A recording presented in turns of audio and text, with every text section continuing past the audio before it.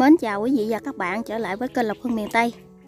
Hôm nay mình xin chia sẻ mà cách bắt cá để kiếm được cá ăn mà không cần mà mình phải lội xuống dưới nước để ướt cái mình.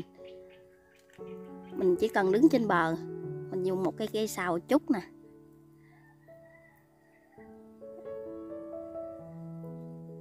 Rồi mình quay cái cảnh à, con cá nó ăn nó giật cái phao nè quý vị. Đây đây đây quý vị thấy ngay mũi tên nè. Đó, nó gị gị gị, cái phao nè lát mình kéo lên rồi mình tiếp tục chia sẻ đến quý vị biết ờ, cách này là cách bắt như thế nào nha. Rồi, mình sẽ kéo lên thôi.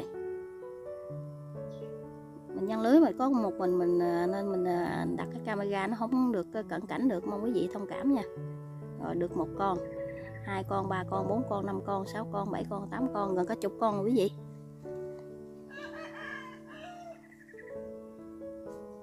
Rồi thời buổi à, khó khăn quá vì giờ mình phải tìm cách để sinh tồn cho cái mùa à, à, đại dịch này nghe quý vị ơi.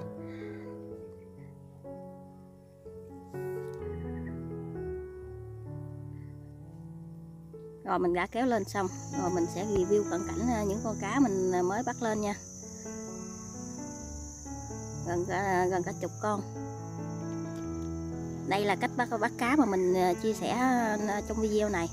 Mình chỉ ờ, cần dùng một cái cây xào bằng tre hoặc bằng chút gì cũng được mà khoảng 5 mét thôi. Tại vì một cái tay lưới mình mua đó một tay lưới có 5 mét mà chỉ có 5k thôi tức là 5 ngàn nha quý vị. Rồi mình uh, ở dưới những cái chỗ mà trống trống như thế này nè. Đó. Bên kia có bảy cá kìa bầy lòng tông nhiều nó nổi quá trời luôn. Thì mình dăng như vậy đó là ừ, à, sẽ được chín cá mà bắt cá ờ, mau nhất không có bị ướt cái mình. Ôi, bầy lòng tông này nổi quá trời nè. Lòng tông này bây giờ ừ, cũng có lưới ờ, dăng lòng tông nữa nghe quý vị. Một tay lưới ăn lòng tông là ừ, dở lên là khô khô mà ngon lành luôn. Bầy lòng tông này nó dạng quá nè nhìn có bộ à, chắc nó còn nhỏ, nó chưa lớn.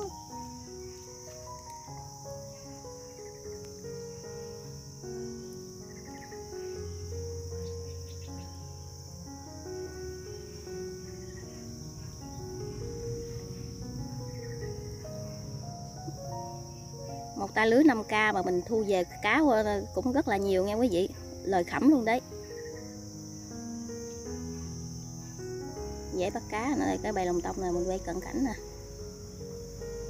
Nó nổi quá trời luôn. Buổi sáng nó nổi trời mát. Rồi chuẩn bị mà mình kéo một mẻ lưới lên tiếp. Đây mình mới ra. Kéo một tay lưới lên nè. Có một mình mình nên không thể nào quay hết đầy đủ hết.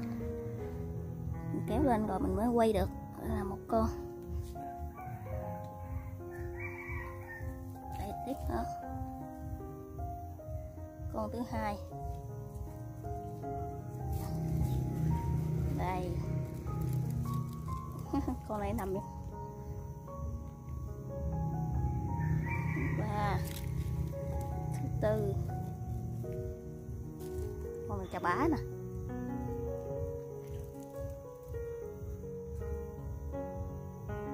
Thứ năm. Chà bá nữa luôn.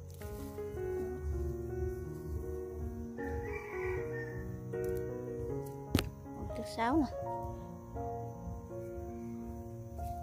Thứ bảy nè. Còn hút trên đây luôn. Thứ tám.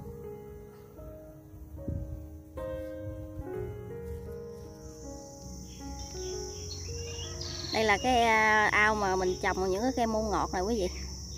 Những cái ao lặng lặng à, trống trống như thế này là mình à, dân lưới cá sặc rất là thích hợp. Còn bữa nay à, trời có bộ âm u rồi chỉ mưa nè đó quý vị nhìn thấy có đám mây đen nè. Có bộ sắp mưa tới à. Mình dưới, bên dưới là cái vàng bầu của mình đấy. Giăng lưới dính gì, dính kỳ cục. Dính dính đùm tại đây à. đó. Dính dính đùm chơi vậy đó.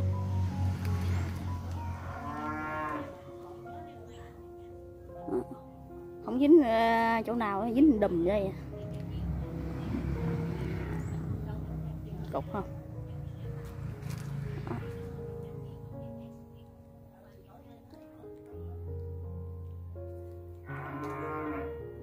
đùm đùm đùm. Ngứa cá sặc mùa nắng nóng đi. Cá này còn nhớ. Còn cá này.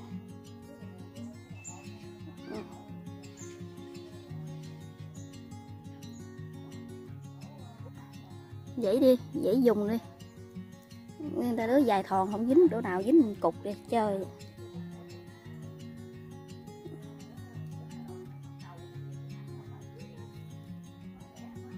Đó. dính cục chơi vậy đó.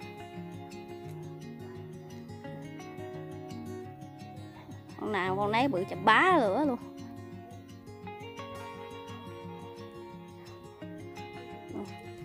Con bự nè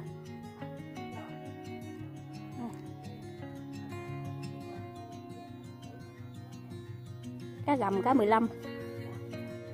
Cho ít cá này.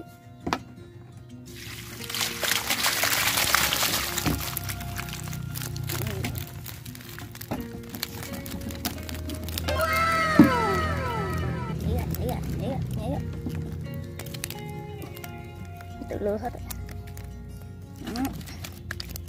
nhảy quá. Lùm tha la chưa? Đó. Giăng lưới một ít cá đây.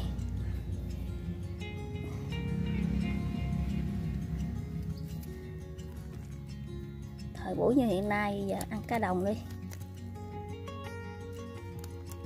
Để ra tùm lum. rồi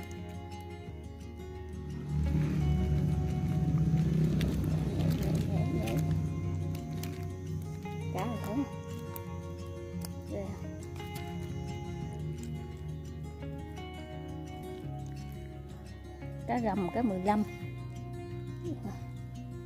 Đây, con. đây là cá ngựa nè cá măng đỏ. Này sặc đẹp. Này sặc bướm. Cá rô nữa nè.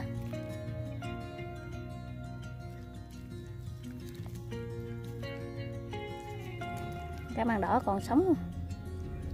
Nghe tung tăng. Như đây khô khô được không anh em? Quá trời nhảy luôn. Tung tăng tung tăng tung tăng. Rồi, mình mời quý vị và các bạn cùng xem à, thành quả của mình nha.